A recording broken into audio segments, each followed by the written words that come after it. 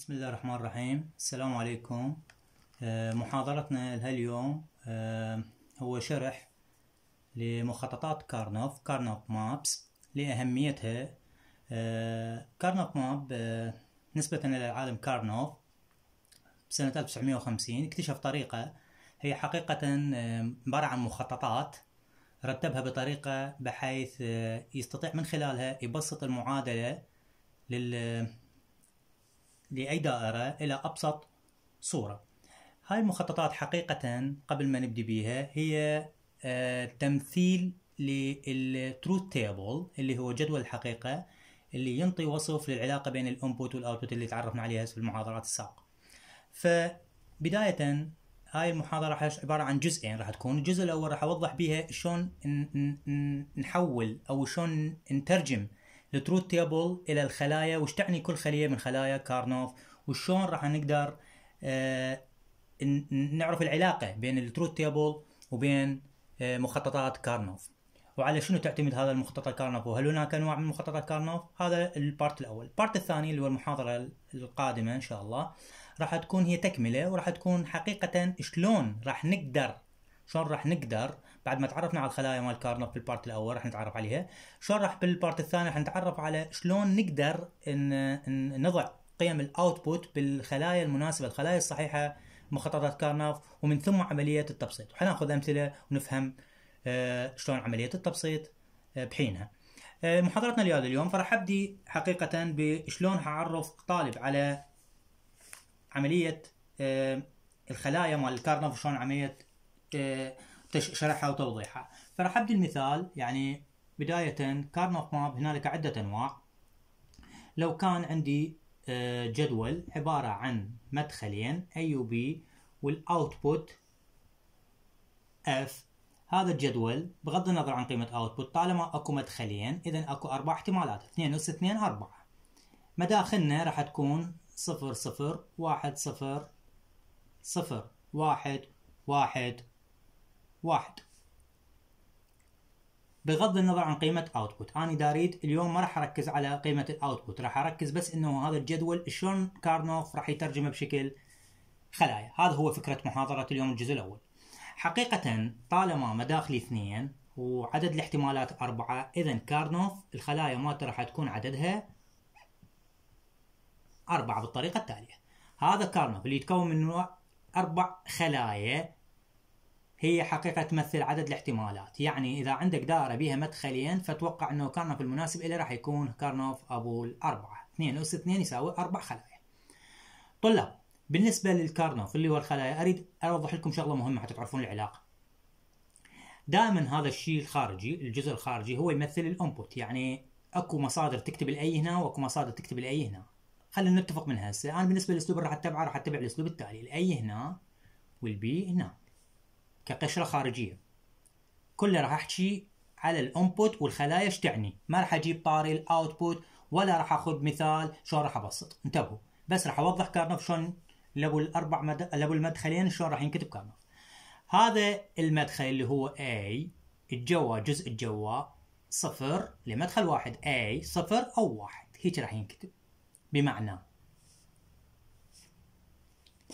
أما راح يكون يعني كأنه A داش لأن صفر يعني A داش كأرقام صفر كرموز A داش والواحد هو A.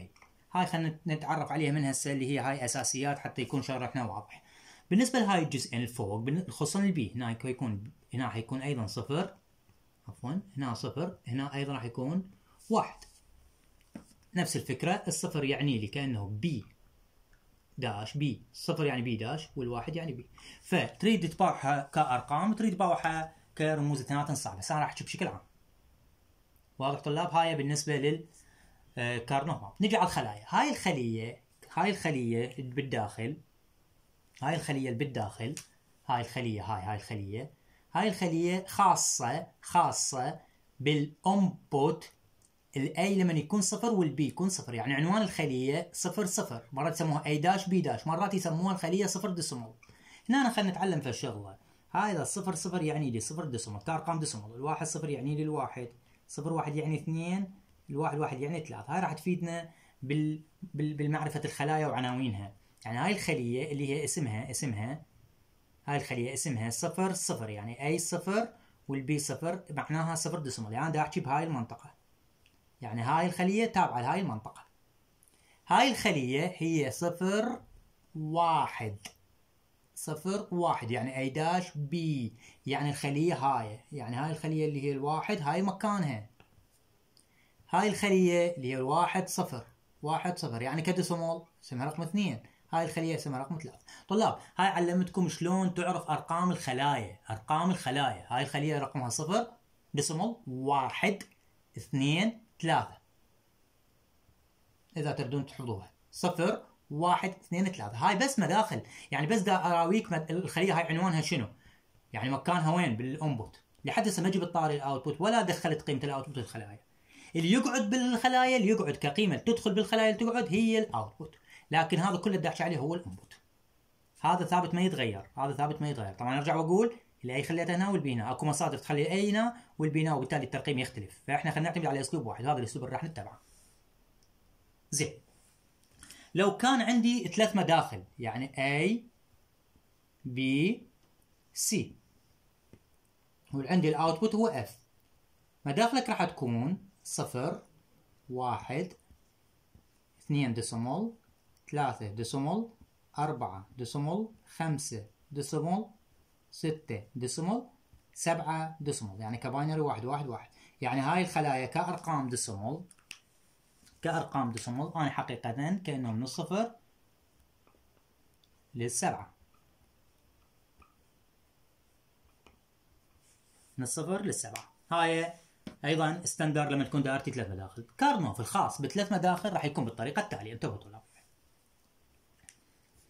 طالما ثلاث مداخل يعني عدد الاحتمالات إيش قد؟ ثمانية. ما دام عدد الاحتمالات ثمانية عندنا قاعدة إيش قالت؟ قال عدد الخلايا تعتمد على هي حقيقة نفس الاحتمالات مال ال input يعني عندي كارنوف أبو إيش قد؟ أبو ثمان خلايا. واحد اثنين ثلاثة أربعة خمسة ستة سبعة ثمانية. عددهم كلهم ثمانية. هيك هي الرسم. القشرة الخارجية مثل ما اتفقنا المرة A B C ال A هنا وال B C هنا لأن مكاناتها أكثر. هاي طريقة. أكو من يكتب لا. A B C. إحنا الأسلوب اللي راح نتبعه هو الأسلوب التالي. ال A هنا كمتغير وال B C هنا. كترقيم ال A هنا مرة صفر مرة واحد. يعني كأنه A dash مرة A خلينا نوضحها باللون الأحمر. حتى تكون الصورة بالنسبة لكم واضحة. شباب. يعني هنا كأنه A dash وكأنه هنا هذا بس كتوضيح. يعني نقدر نستخدم أسلوب الترقيم وأسلوب الرموز كله صح. كيفك؟ هنا هنا راح تكون صفر صفر صفر واحد. شوف صفر صفر صفر واحد. انتبهوا شوف التغير يكون مكان واحد صفر صفر صفر. هذا نفسه هنا تغير هنا مو واحد صفر طلاب لأن حيصير تغير مرتين. فلذلك يخلون واحد واحد واحد صفر. هاي ليش واحد واحد؟ ليش مو صفر واحد واحد صفر هنا؟ هذا هو كارنوف آه سوى هذا الترتيب في سبيل إلى هدف اللي هو عملية تبسيط. حقيقة حقيقة للتوضيح للي يهم الموضوع للتوضيح هذا الترتيب الفوق صار هو جاي من من فقرة اللي هو ال Gray code. يعني Gray code. هاي فد ترتيب لترتيب الصفر والواحد والاثنين والثلاثة. الاثنين تنكتب بهالطريقة هاي. وللتوضيح أكثر دائما الخلايا المتجاورة باختلاف يكون bit واحد. يعني هاي صفر صفر صفر واحد اختلاف بس مكان واحد. هاي لو كانت واحد صفر كان الاختلاف صار بمرتين ما يصير ما يصير. لذلك واحد واحد هنا والواحد صفر هنا. هاي ملاحظة وللعلم هي تحفظ يعني. هاي هذا المكان اسمه B dash C dash يعني خلينا نكتبها باللون الأحمر بس حتى أوضحها.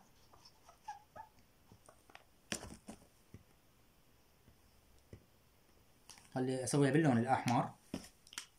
هاي B dash C dash هاي B dash C B C B C dash هاي كرموز كرموز كرموز.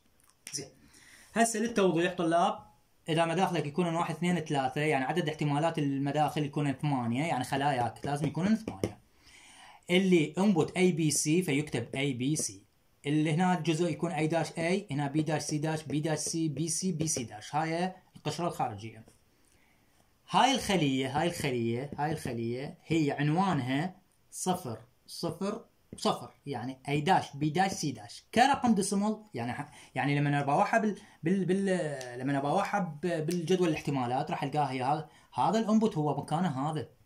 هذا ال input مكانه هذا. اللي هو إيش قد عنوانه؟ صفر decimal يعني أقدر أكتب هنا صفر decimal على العلم هذا الرقم اللي كتبه هنا أنا لك على مود تعرف اسم الخلية. وليس بالحل مال السؤال. بالحل مال السؤال هذا لا يكتبن. إنما راح ينحط هنا هو ال output بس أنا هنا دا ابين لك أرقام الخلايا. هاي صفر هاي الخلية A dash B dash C يعني صفر صفر واحد. اللي رقمها إيش قد؟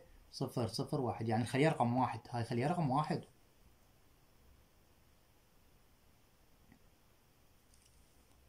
هاي الخلية هاي هاي هاي بالذات. صفر. واحد صفر. يعني صفر واحد صفر. يعني خلية رقم اثنين. يعني هاي خلية رقم اثنين. وليست هاي. هاي الخلية رقم ثلاثة. هاي واحد. واحد صفر صفر يعني واحد صفر صفر. يعني A B داش C داش يعني خلية رقم أربعة. اثنين أربعة. هاي خلية رقم أربعة. هاي واحد صفر واحد واحد صفر واحد. هاي خليها رقم خمسة. هاي واحد واحد صفر واحد واحد صفر. يعني خلية رقم ستة. رقمها. هاي خلية رقم سبعة. واضح طلاب؟ هاي بالنسبة شلون نعرف آه العلاقة بين كارنوف وجدول الاحتمالات. جدول الاحتمالات اللي هو جدول الحقيقة اللي ينطي وصف لدائرة معينة.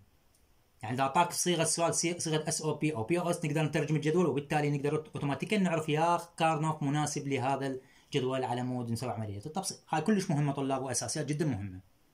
أرجع وأقول رموزنا A B C راح تكون بالطريقة التالية. ولو كان X Y Z كان كتبنا X Y Z يعني قصدي ال style مال كتابة المداخل بهالطريقة هاي على مود يكون حلك. وفق الترقيم التالي. ترى هذا الترقيم يختلف لو اختلفت ترتيب المداخل. هاي كارنوف أبو مدخلين يعني أبو الأربع احتمالات. كارنوف أبو ثلاث مداخل أبو الثمان احتمالات. اذا هسه راح نكتب كارنوف أبو أربع مداخل اللي هو ابو 16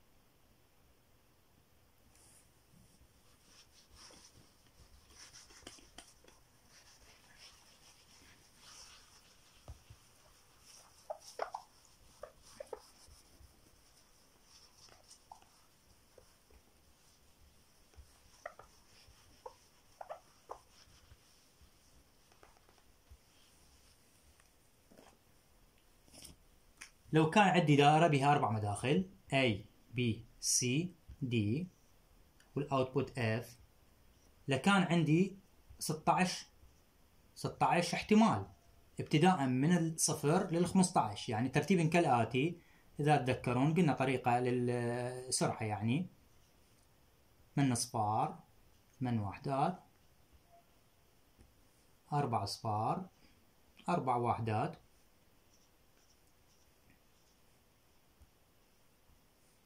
صفرين واحدين.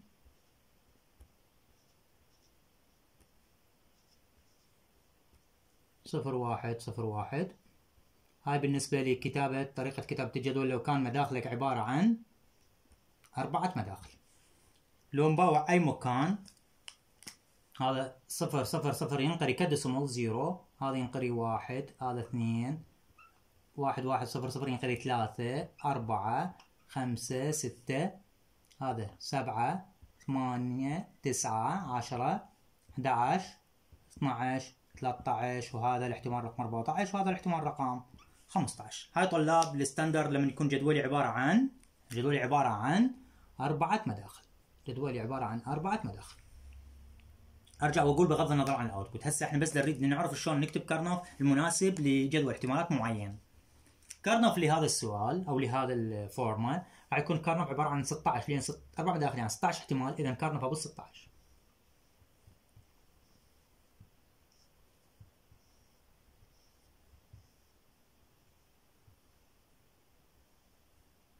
مداخلك A B C D. راح نعتمد الأسلوب التالي. أكو أكثر من أسلوب قلت لك. A B C D أو A B C D. راح الآن نستخدم الأسلوب التالي. A و B هنا C و D هنا. نجي هسه على المكانات مال الخلايا هذا هذا الفوق الترتيب الفوق تابع لل C و D فراح يكون 0 0 0 1 1 1 مثل ما قلت لكم. هذا ترتيب standard حسب كارنوف. ونفس الفكرة بالنسبة ل A B هنا 0 0 يعني مدخلين هنا 0 1 هنا 1 1 هنا 1 0 هذا المكان هذا المكان هذا المكان. كأرقام صفر صفر ومرات يكتب A dash B dash كلها صح. هنا A dash B هنا A B هنا A B dash.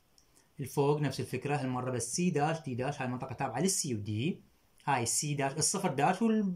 وال مو صفر يعني الواحد بدون dash يعني هنا C dash D هنا C D هنا C D dash.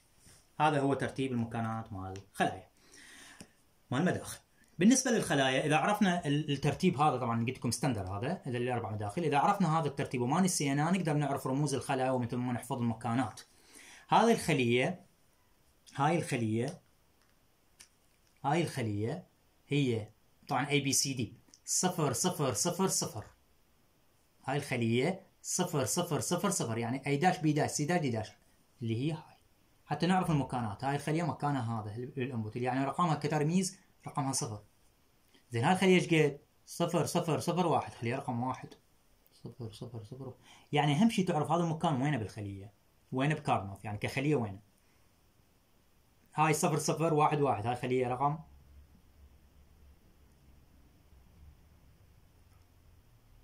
ثلاثة. هاي الخلية رقم اثنين وهكذا. طلاب مثلا مثلا مثلا. هاي الخلية إيش قد رقمها؟ هاي الخلية مثلا مثلا. إذا أنسى فهاي الخلية رقمها واحد واحد واحد واحد. هاي هاي هاي الخلية. واحد واحد واحد واحد يعني واحد واحد واحد واحد. أو A B C D. A B C D. هذا binary ك decimal 2 4 8 يعني هذا خلية رقم 15 يعني هاي الخلية رقم 15 تبعا هذا الاسلوب يعني هاي هنا مكانها يعني هاي مكانها هنا. يعني الاوتبوت هذا مستقبلا عرفته هنا إيش قد أقدر أحطه بالمكان الصح. لازم تعرف هذا المكان وينه بهنا. وتبعا لهذا الاسلوب أرقام الخلايا اسمائهن 0 1 2 3 4 5 6 7 تنزل جوا 8 9 10 11 12 13 14 15 يعني دائما بدنا نستخدم الأسلوب التالي. صفر واحد اثنين ثلاثة أربعة خم- خمسة ستة سبعة وهكذا. هذا هو الأسلوب اللي اللي اللي اللي دا نتبعه إحنا هنا. نفس الفكرة بعدين ننزل مو هنا هنا وهكذا. هذا هاي هي الخلايا اللي اللي تحفظ مكاناتها. هاي standard طلاب. حتى مستقبلا لما تقدر تعرف ال output مثلا يعطيك سؤال ب output معين هنا قيمة تقدر تعرف هذا ال output وين تخليه بيا مكان؟ ب Karnaugh. إذا ما تعرف هذا المكان وين صاير ب Karnaugh؟ ما تقدر تخلي ال output بالمكان الصحيح. أتمنى تكون آه هذا ال part واضح هذا الجزء اللي هو مجرد بس وضحت لكم Karnaugh شلون شلون نقدر نستنتجه ل truth table معين. الجزء القادم إن شاء الله راح نوضح من خلال الأمثلة شلون ال output ينحط بهاي الخلايا وشلون ال rules أو القوانين الخاصة حتى يكون تبسيطي صح. أتمنى يكون الشرح وافي وكافي. تمنياتي لكم بالموفقيه شكرا جزيلا.